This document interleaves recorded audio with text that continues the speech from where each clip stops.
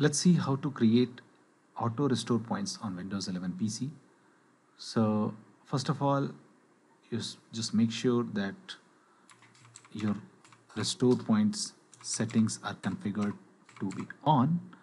So just search create restore point on your search box and now click on create a restore point.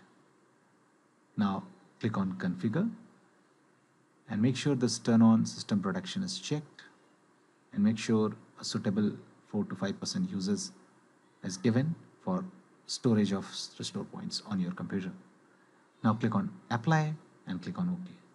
Now move to the next step.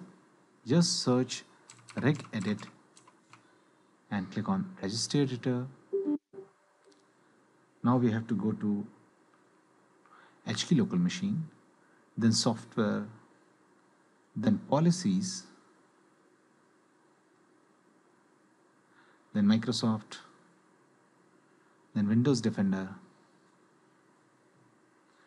and then once you reach Windows Defender, right click and choose new key and name it scan. Okay, name it as scan.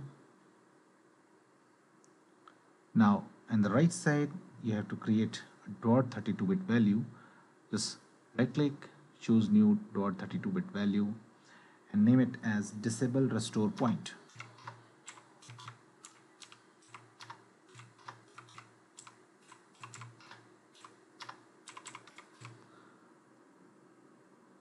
right click and click on modify and make sure the value data is 0 and click on OK. I've given this path in the description of this video. You can find this path from there and this value from there. And now just restart your computer and daily automatically system restore points will get created on your computer. Daily backup point will be created. Okay, so you no need to worry.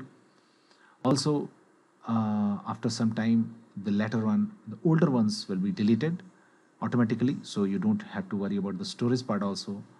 Just you do this setting and automatic restore points will be created automatically on your Windows 11 computer. Please do like the video and subscribe.